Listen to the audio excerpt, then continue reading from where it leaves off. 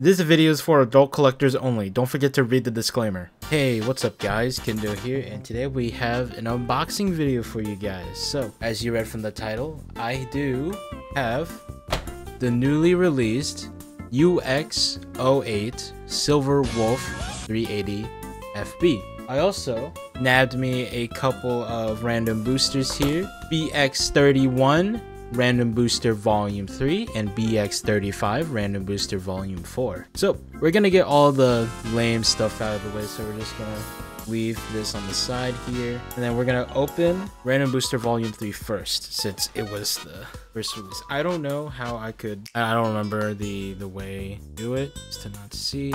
I just hope that I get at least one of the uh, part with Quake for this. Uh, that looks like, hold on, see.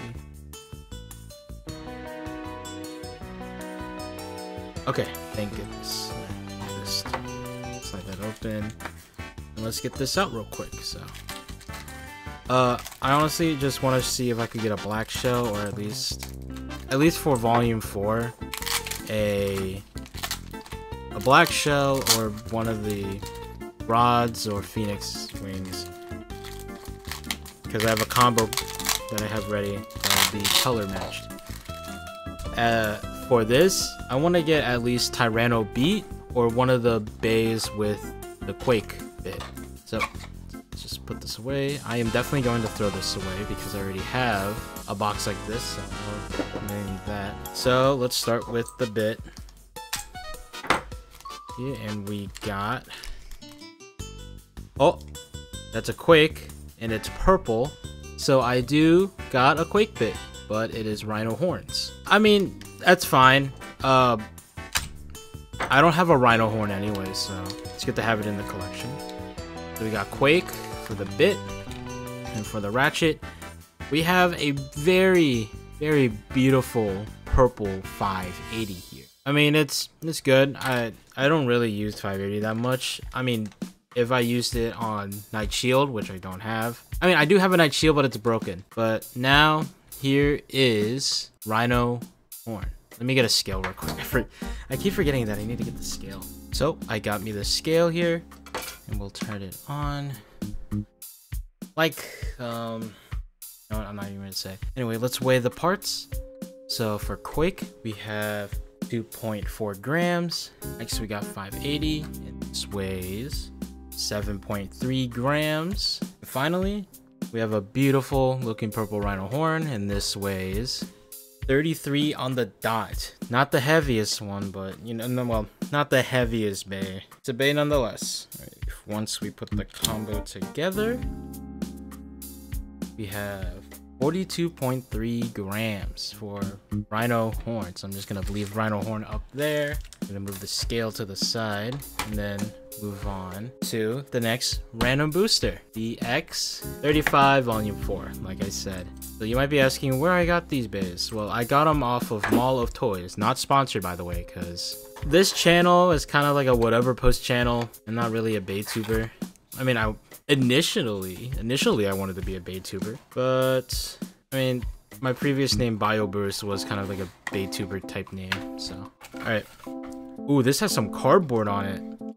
I wonder why. Alright, let's see what the bay is. I also already have a bay, like a, like from this set, but I don't have the box. So I hope I don't get a dupe uh, from this, from this set, which I pray to God I don't. Because if I do, I'm gonna freak. They tighten these up real crazy, like. No way, did I? Hold on.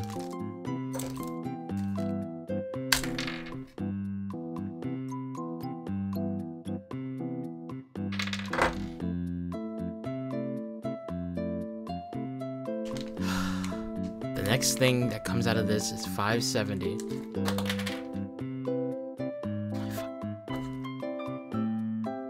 Oh my fucking god. Spoke too fucking soon. Oh, here it is. My second dupe of Viper Tail 570 dot. Well, at least I have a new dot. I have a new dot now, so. That was really disappointing though. Honestly, I was really disappointed with that. I was like, there's no way. There's no fucking way. That was such a letdown. I would love to buy a full set and then get a third dupe, a Viper Tail. You know what? When I go to the the next tournament that I'm going to, I'm going to give this one away. I'm going to give this Viper Tail away because I don't really need it. Alright, let's weigh it down. So we're gonna start with Dot. Dot weighs 2.1 grams. Next, we got 570. Okay, it switched from 6.8 to 6.5. Okay. Now we have Viper Tail. 34.5 from what I can read. Let's put the bay together. And yeah, there we go. The bay weighs 43.3 grams. Now we have two bays of a certain color. And now we can move on to UX08 Silver Wolf. So this bay comes with a, a winder launcher. What the hell is this? A caution guide? What the why is there a caution guide here? That's that is weird. There's a caution there's caution plate paper in there. I don't know if any Baytubers gotten that at all, but at least when unboxing it live instead of just talking about the bay. Ah, fucking tape. I hate tape so much. I am not gonna pull the paper out, but the next releases you'll see are like Samurai Saber, Knight Mail, and Crimson Garuda. I'm not buying Crim Crimson Garuda, honestly. I would buy it for the bit and the, the, the layer or the blade, but I'm not gonna buy it. Probably later. All right, now let's first talk about the winder. So a theme with the winders is that they have the main color on the ripcord and the prongs here. So silver wolf, so it's got like a silver coloring. For every UX release, they have this kind of launcher color set up. Whilst the the BX line has just a plain black um, winder color. The last starter, I believe, was I guess. Actually, I don't know. Maybe, I think it was Arrow or Shield. I don't remember, but they had winders. I remember that. I mean, if you want to count the Battle Entry ones, I don't really count them because they're just more like, they're, they're just the same base, but like different. But anyway, you know, eight and a half rotations, has a silver color. I do like this like shine on the text here, whereas like BX just has just like plain text plain white text with nothing special on it. Is cool. So yeah, Silver Wolf's Winder Launcher. That's going into the DB Stadium that I have. Let's uh, let's open the base real quick. Let me just take them out all of their um, take them out of their packaging. And then we're gonna go from the bottom to the top. The first part that we have is the bit free ball. Free ball is essentially makes the bit free spin. So I'm gonna grab my Phoenix Rudder, for example, here. So uh, the combo that I had on that, and I'm probably not gonna use in tournaments because it's gonna get slain crazy, was uh, Phoenix Rudder 970 with ball.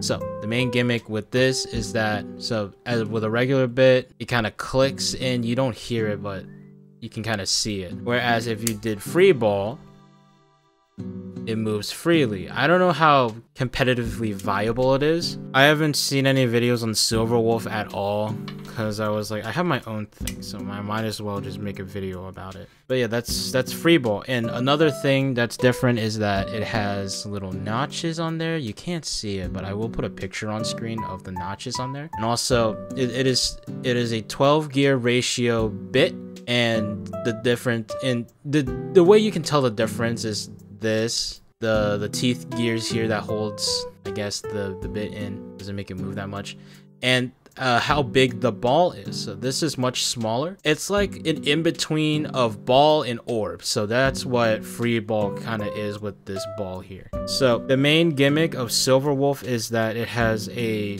free spin ability. So that's what this whole gimmick is about. Next, we have 380 Nothing to walk home about. It's just a clear plastic with black coloring for the contact points for 380. To tell the difference between 60, 70, and 80, and soon 85. An 80 height has this little disc that goes around the ratchet that's why you tell it's an 80 height with a 70 height. It's hexagonal in shape, and then you can't see it because it's clear plastic. But right here, there should be like a little indent here, but I'm gonna put my finger in there. It's um, it's slanted, and this thing is octagonal. I said hexagonal, but whatever. Now we get to the main blade. And the blade we have here is Silver Wolf. So the main gimmick for Silver Wolf's blade is that it has a free spin gimmick indicated indicated on the back here. You can see it free spins. It also kind of just curves down a bit here so that's pretty cool. It lines up with itself when it's you know when it's not and then you can make it fully circular.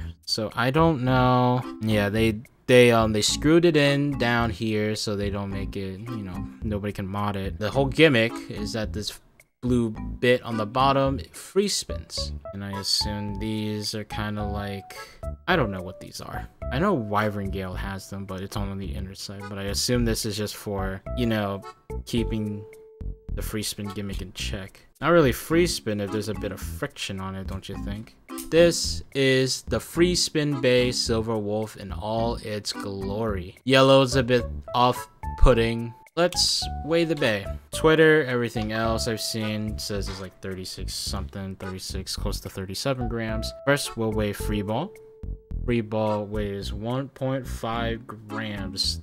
That is the lightest I've known. I don't know if there's any lighter, but yeah. So now let's move on to 380. 380 weighs 7.1 grams. All right, next and not least, we have Silver Wolf, the blade. So let's see how much this weighs. 36.7. This is something to walk home about. I was kind of scared, like when I saw the image releases for it, um, I was scared for it to be thin, just because of how it's shaped. I was not expecting it to be this heavy. But, what the Jimmy? Here we go, Silver Wolf. Uh, I will not be doing test battles on it because that would be a whole thing and I don't really want to do test battles right now. But yeah, let me know if you guys want me to do whatever, like Beyblade wise. I am going to test this on Hell's Hammer, uh, at least Quake. Quake is awesome. I also pre-ordered Knight Mail and Samurai Saber because A, I want the I want the launcher for Samurai Saber. And the set is amazing. It comes with a variety of good stuff. Dry uh, bits, um, ratchets, blades. I really want Tyranno Beat in my collection, so yeah, I also need to get a black shell there too. So, thank you guys for watching this video. If you did, don't forget to uh, like, comment, and subscribe for, you know, more Beyblade content if you guys want me to do Beyblade content on here, which I'm most likely going to do whenever I get the chance. Uh, and yeah, I'll see you guys later. Bye!